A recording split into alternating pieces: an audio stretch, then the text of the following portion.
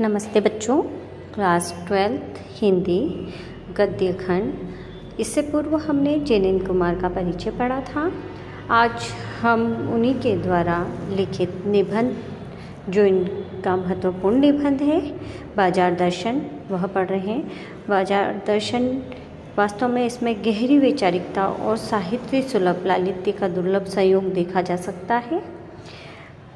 उपभोक्तावाद और वाजावाद पर व्यापक चर्चा इस पाठ के अंतर्गत की गई है। तो आइए हम पढ़ना शुरू करते हैं हमारा निबंध, बाज़ार दर्शन। एक बार की बात कहता हूँ। मित्र बाज़ार गए तो थे, कोई एक मामूली चीज़ लेने पर। लौटे तो एकदम बहुत से बंडल पास थे। मैंने कहा, यह क्या? बोले, यह जो साथ थी उनका आशय था कि यह पत्नी की महिमा है। उस महिमा का मैं कायल हूँ। आदिकाल से इस विषय में पति से पत्नी की ही प्रमुखता प्रमाणित है। और यह व्यक्तित्व का प्रश्न नहीं, स्त्रीत्व का प्रश्न है। स्त्री माया न जोड़े तो क्या मैं जोड़ूं? फिर भी सच सच है और वह यह कि इस बात में पत्नी की ओट ली जाती है। ओट यानी सहारा। मूल में एक और तत्व की महिमा सविशेष है। वह तत्व है मनी बेग अर्थात पैसे की गर्मी या एनर्जी। पैसा पावर है, पर उसके सबूत में आसपास माल टाल न जमा हो तो क्या वह खाक पावर है? पैसे को देखने के लिए बैंक हिसाब देखिए, पर माल असबाब मकान कोठी तो अनदेखे भी दिखते हैं। पैसे परचेजिंग पावर यानी खरीदने की शक्ति के प्रयोग में ही पावर का रस है। लेकिन नहीं, लोग संयमी भी होते हैं। वे फिजूल सामान को फिजूल समझते हैं। वे पैसा बहाते नहीं हैं और बुद्धिमान होते हैं। बुद्धि और संयम पूर्वक वह पैसे को जोड़ते जाते हैं, जोड़ते जाते हैं।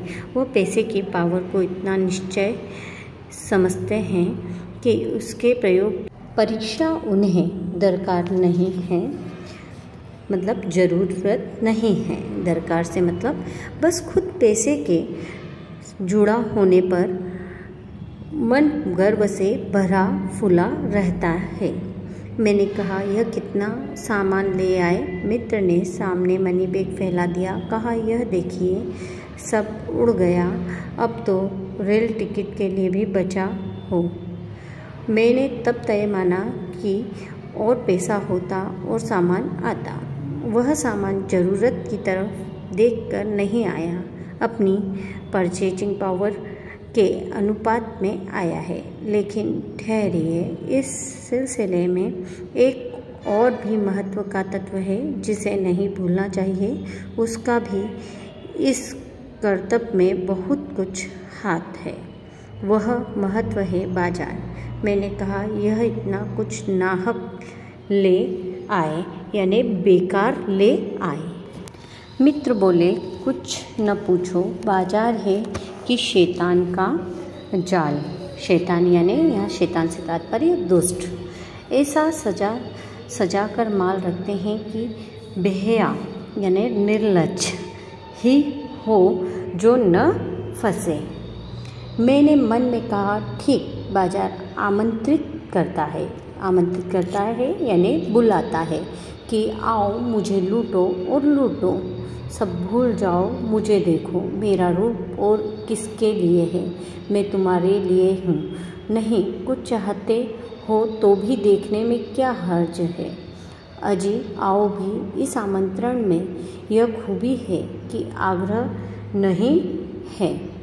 लेकिन ऊँचे बाज़ार का आमंत्रण मुख होता है और उससे चाह जगती है। चाह मतलब अभाव। चौक बाज़ार में खड़े होकर आदमी को लगने लगता है कि उसके अपने पास काफ़ी नहीं है। और चाहिए और चाहिए। मैंने यहाँ कितना परिमित है? परिमित से यानी सीमित। और यहाँ कितना अतुलित है? ओह, कोई अपने को न जाने तो बाज़ार का यह चौक उसे कामना से विकल बना छोड़े। विकल यानी बेचैन विकल क्यों? पागल, असंतोष, तृष्णा और ईर्ष्या से घायल कर मनुष्य को सदा के लिए यह बेकार बना डाल सकता है। एक और मित्र की बात है, यह दोपहर के पहले के गए गए बाज़ार से कहीं शाम को वापस आए। आए तो खाली हाथ। मैंने पूछा, कहाँ रहे? बोले, बाज़ार देखते रहे? मैंने कहा, बाज़ार को देखते क्या रहे? बोले, क्यों? बाज़ार। तब मैंने कहा, लाए तो कुछ नहीं। बोले हाँ पर यह समझ न आता था कि न लूँ तो क्या। सभी कुछ तो लेने को जी होता था। कुछ लेने का मतलब था शेष सब कुछ को छोड़ देना, पर मैं कुछ भी नहीं छोड़ना चाहता था। इससे मैं कुछ भी नहीं ले सका। मैंने कहा, खूब, पर मित्र की बात ठीक थी। अगर ठीक पता नहीं है कि क्या चाहते हो तो सब और की चाहत तुम्हें घेर लेगी और तब परिणाम त्रास ही होगा। त्रास से तात्पर्य है भय, यानी मन में भय समा जाएगा। गति नहीं होगी न कर्म, न तो आप उस काम को कर पाएँगे और न आपको उस कार्य को करने में मज़ा आएगा।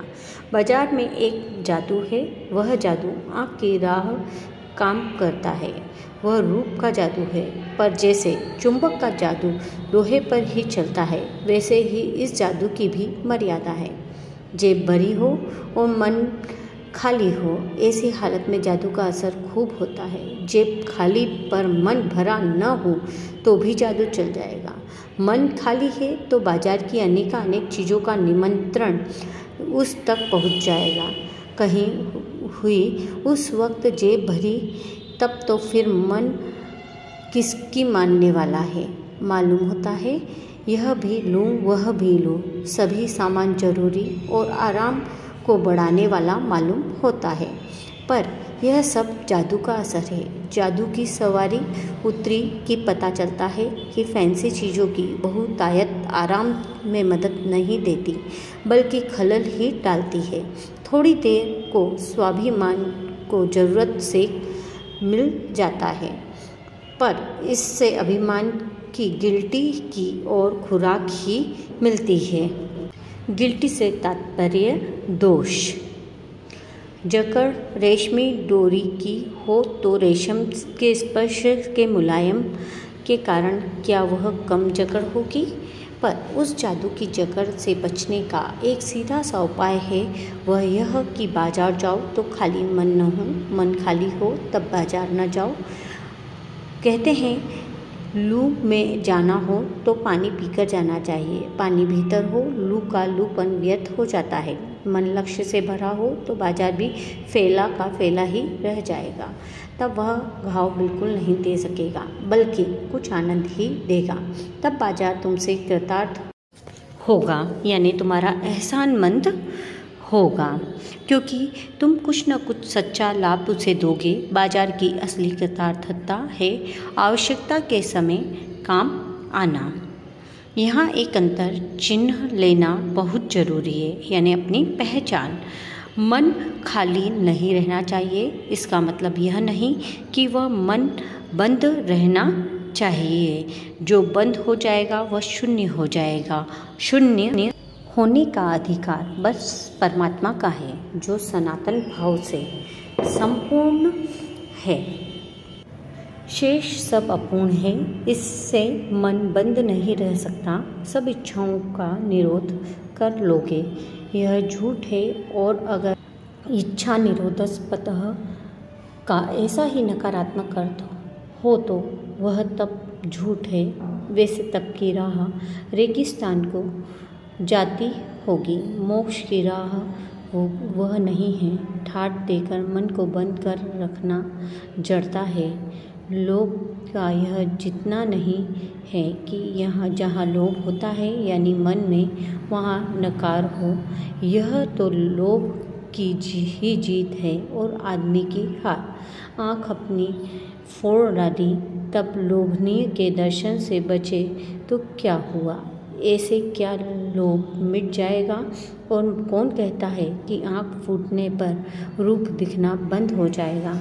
क्या आँख बंद करके ही मन सपने नहीं दे, लेते हैं? और फिर सपने क्या चैन भंग नहीं करते? इससे मन को बंद कर डालने की कोशिश तो अच्छी नहीं। वह अकारत है, यानी बेकार है। यह तो हट वाला योग है, शायद हट ही हट योग नहीं।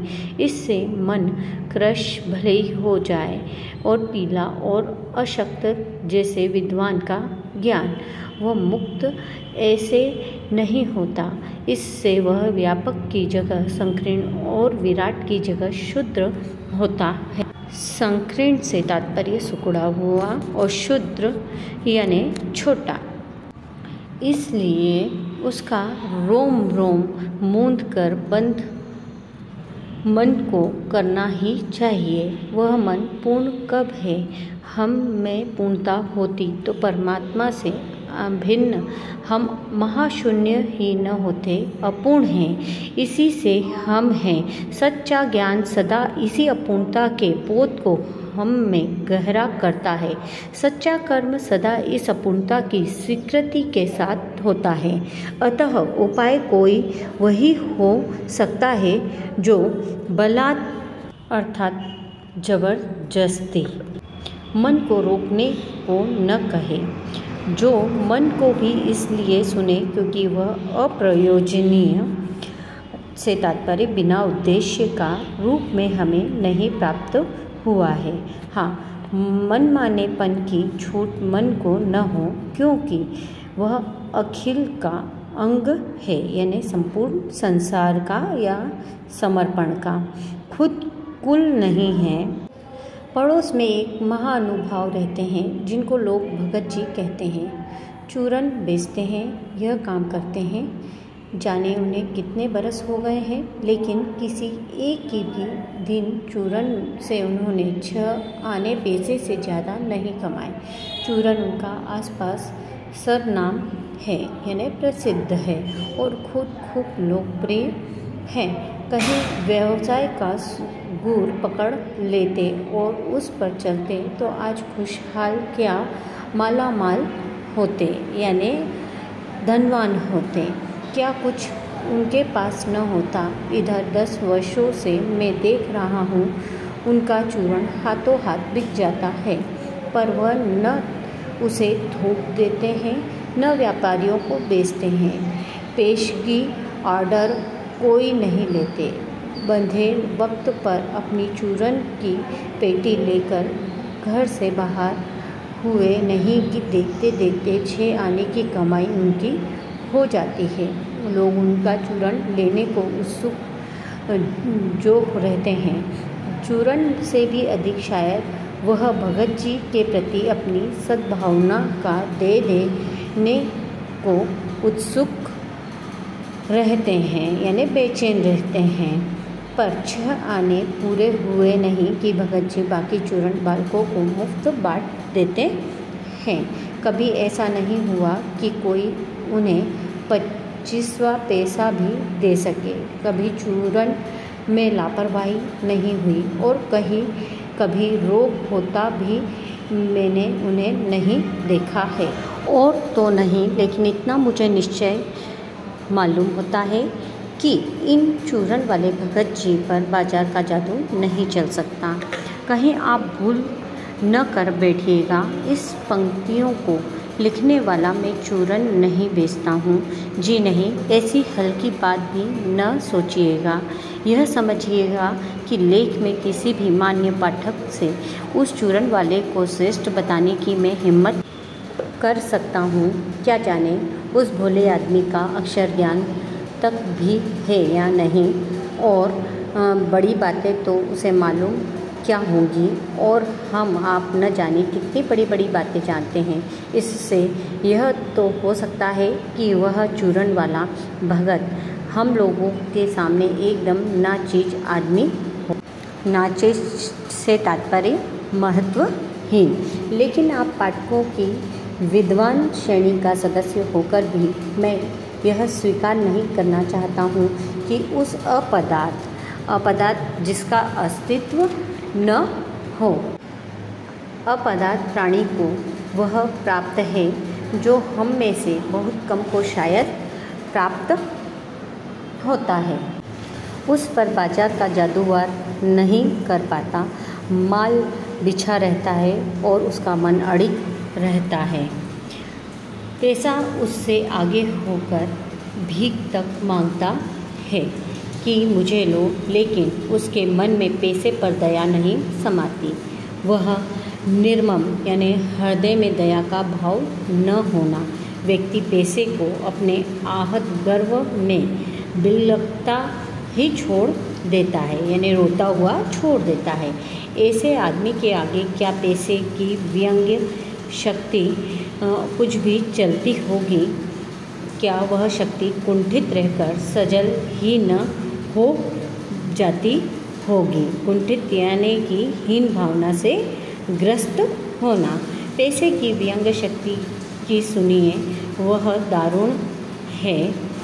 मैं पैदल चल रहा हूँ कि पास ही धूल उड़ाती निकल गई मोटर। वह क्या निकली मेरे कलेजे को कोंधती एक कठिन व्यंग्य की लीक ही आर से पार हो गई। यहाँ लीक से तात्पर्य मर्यादा।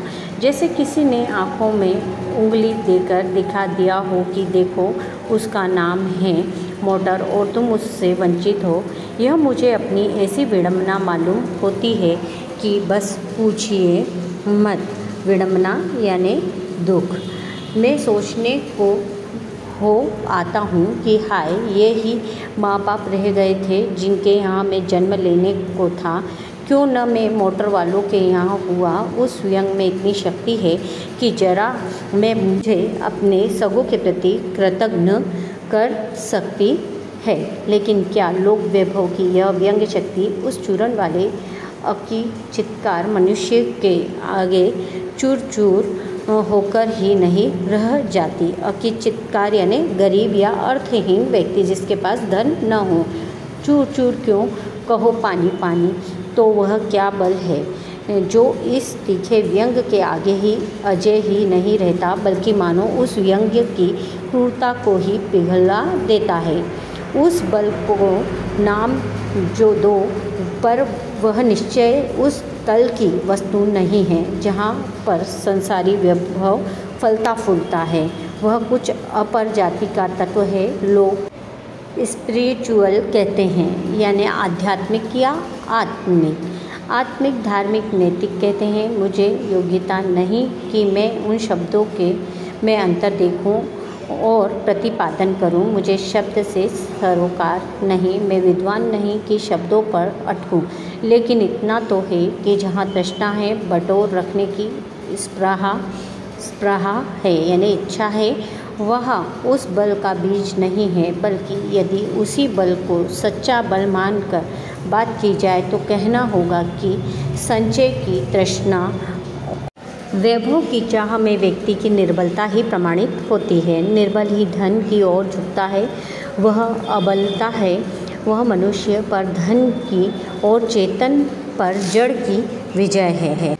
एक बार चूरन वाले भगत जी बाज़ार चौक में दिख गए। मुझे देखते ही उन्होंने जय जय राम किया। मैंने ही जय राम कहा। उनकी आँखें बंद नहीं थी और न उस समय वह बाज़ार को किसी भांति कोस रहे।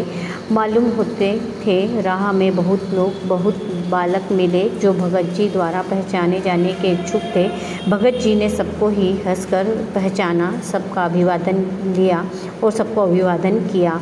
इससे तनिक भी यह नहीं कहा जा सकेगा कि चौक बाज़ार में होकर उनकी आँखें किसी से भी कम खुली थीं, लेकिन बहुत चक्के हो रहने की लाचारी उन्हें नहीं थी। व्यवहार में पेश पसो पेश उन्हें नहीं था और खोए से खड़े नहीं वह रह जाते थे। भांति भांति की बढ़िया माल से चौक भरा पड़ा है। उस प्रत्येक प्रति अप्रीति इस भगत के मन में नहीं है, जैसे उस समूचे माल के प्रति भी उनके मन में आशीर्वाद हो सकता है। विद्रोह नहीं, प्रसन्नता ही भीतर है, क्योंकि कोई रिक्त भीतर नहीं है। देखता हूँ कि खुली आँख, दुष्ट और मग्न, वह चौक बाज़ार में से चलते, चले जाते हैं। राह में बड़े बड़े फैंसी स्टोर पड़ते हैं।